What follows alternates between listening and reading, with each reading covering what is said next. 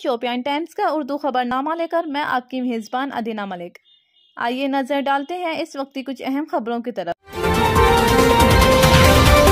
मुल्क के छिहत्तरवीं योम आज़ादी के पेश नज़र, वादी कश्मीर बालखसूस श्रीनगर में सिक्योरिटी बंदोबस्त को मजीद सख्त कर दिया गया है। एक नामा निगार ने शहर के मुख्तलिफ़ इलाकों का दौरा करने के बाद बताया कि श्रीनगर में कई मकाम बाशमुल तजारती मराकज, तारखी लाल चौक, जहांगीर चौक बैठमालो वगैरह में सिक्योरिटी फोर्सेस ने नाके लगाए हैं, जहाँ लोगों की जामा तलाशी ली जा रही है और इनके शनाख्ती कार्ड भी चेक किए जा रहे थे।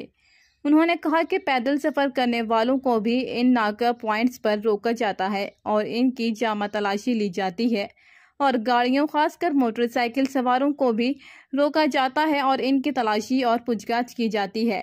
मौसूफ ने कहा कि कई मकाम पर इजाफी चेक पॉइंट्स कायम किए गए हैं। दरिया असना पुलिस ने श्रीनगर और गुर्दोनवाह इलाकों की फिजाई निगरानी के लिए ड्रोन्स का इस्तेमाल किया। हुकाम ने बताया कि 15 अगस्त के पेश नज़र सिविल लाइन्स इलाकों की ड्रोन्स के ज़रिए फिजाई निगरानी की जा रही है। उनका मजीद कहना था कि फिजाई निगरानी का ये सिलसिला 15 अगस्त तक जारी रहेगा।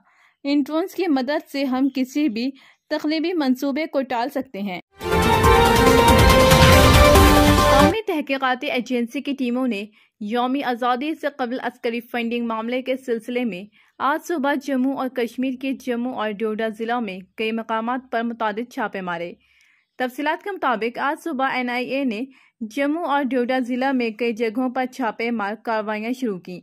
बता दें कि ये केस जम्मू व कश्मीर में दहशत गर्दी की फंडिंग और अलीहदगी पसंद सरगर्मियों की मदद के मुतालिक है। सरकारी ज़रिया ने बताया कि जम्मू व कश्मीर पुलिस और सेंट्रल रिज़र्व पुलिस फोर्स ने छापे वाले मकाम को घेरे में ले लिया है ताकि अमन व ईमान की सूरत हाल को बरकरार रखा जा सके।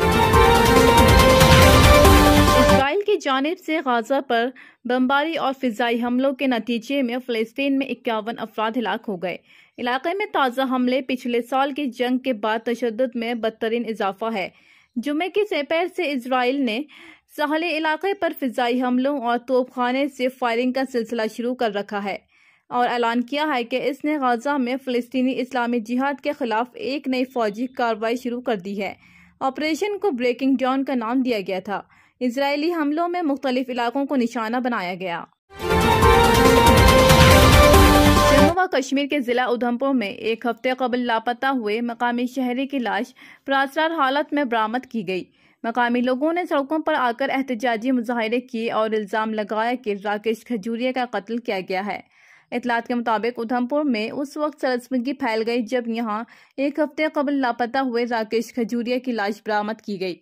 मकामी लोगों और लुहाकिन ने सड़कों पर आकर एहतजाजी मुजाहरे किए और इल्ज़ाम लगाया कि राकेश का सनसनी खैर तरीके से कत्ल किया गया है।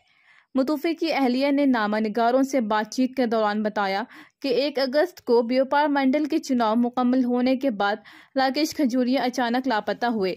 उन्होंने बताया कि बसियार तलाश के बावजूद भी जब उनका कई पर अता पता नहीं चल सका तो पुलिस स्टेशन में गुमशुदगी की रिपोर्ट दर्ज की गई। उनके मुताबिक मामले की एक बार बेनी से तहकीकात की जानी चाहिए ताकि कातलों को कानून के कटहरे में खड़ा किया जाए।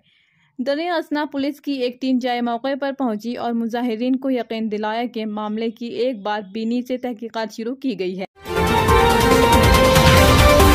जम्मू व कश्मीर के लेफ्टिनेंट गवर्नर मनोज सिन्हा ने नई दिल्ली में नौ मुंतब सदर द्रौपदी मुर्मू से मुलाकात की। इतलात के मुताबिक जम्मू व कश्मीर के लेफ्टिनेंट गवर्नर मनोज सिन्हा ने नई दिल्ली में राष्ट्रीय भवन में सदर हिंद द्रौपदी मुर्मू से मुलाकात की। जिस दौरान मनोज सिन्हा ने उन्हें मुबारकबाद दी। ज़रिया ने बताया कि मीटिंग के दौरान लेफ्टिनेंट गवर्नर मनोज सिन्हा ने जम्मू व कश्मीर की ताज़ा तरीन सूरत हाल के बारे में उन्हें जानकारी फ्राहम की। बता दें कि जम्मू व कश्मीर के लेफ्टिनेंट गवर्नर नई दिल्ली में मुनादा नीति आयोग की गवर्निंग काउंसिल की सातवीं मीटिंग में शिरकत करने के खातिर नई दिल्ली वार्द हुए हैं।